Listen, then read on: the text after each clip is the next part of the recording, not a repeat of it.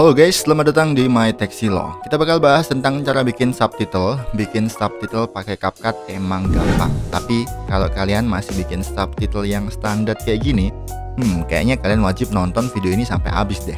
Karena di sini kita akan belajar bareng-bareng buat bikin subtitle yang lebih menarik seperti ini dengan cara yang lebih singkat tentunya. Video ini emang sepele, tapi nggak semua orang tahu cara ini. Dan siapa tahu video ini berguna buat kalian. Jadi nggak usah lama-lama, langsung aja yuk kita masuk ke tutorialnya.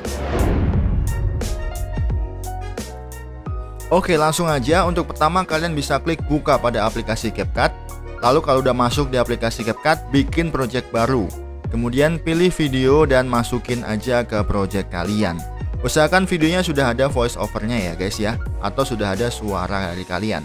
Setelah itu buat nambahin subtitle kalian tinggal klik text Kemudian kalian bisa pilih keterangan otomatis yang ini ya. Kemudian di sini kalian bisa pilih dari suara asli, bahasa Indonesia, dan kemudian seperti ini aja terus pilih mulai. Tunggu prosesingnya selesai, ini sebentar kok. Oke guys, setelah kalian mendapati subtitle otomatis yang muncul kayak gini, langsung aja kalian bisa edit untuk subtitlenya, pilih subtitlenya, kemudian pilih menu gaya di sini. Terus untuk fontnya di sini kalian bisa pilih. Kalau aku mau pakai font bangers, Kemudian lanjut kita masuk ke menu gaya. Di sini kita ubah warnanya menjadi warna kuning yang ini ya guys. Nah setelah itu kita pilih menu animasi. Di menu animasi ini aku mau kasih animasi masuk jepretan ya. Ini ada di bawah sih. Ini kalian bisa pilih animasi masuknya sesuai keinginan kalian ya. Ini dia jepretan dan kita atur untuk durasinya dia di, di atas 0,5 detik. Seperti itu ya biar kelihatan transisinya. Kemudian kita masukin animasi keluar juga. Ini juga bisa kalian pilih bebas. Kalau aku mau pilih animasi yang serupa yaitu tadi yang jepretan. Jadi masuknya pakai jepretan, keluarnya juga pakai animasi jepretan ini. Nah, ini tinggal diatur untuk durasi animasi keluarnya. Kalau udah selesai tinggal diklik centang.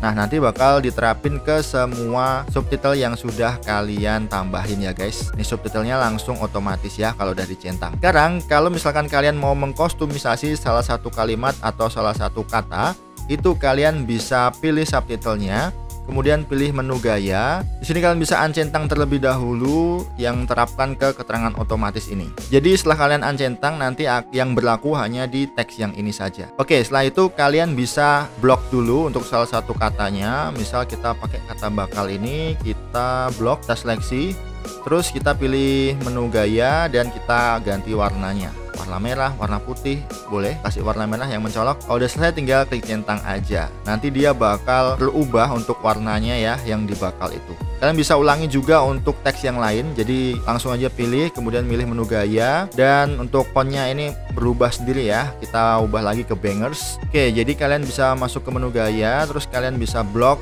untuk kata yang pengen diubah warna. Nice, seperti itu ya guys. Jadi kalian bisa mengkostumisasi sendiri untuk tulisan atau subtitlenya ya. Nah, kalau udah selesai, nanti hasilnya bakal seperti ini. Gimana? Gampang banget kan? Langsung aja cobain dengan teks singkat dan background video hitam supaya kalian ngerti sistem pembuatannya. Oke guys, gitu dulu video saya kali ini. Semoga video ini bermanfaat untuk kalian semua. Terima kasih udah nonton dan sampai ketemu di video selanjutnya. Bye.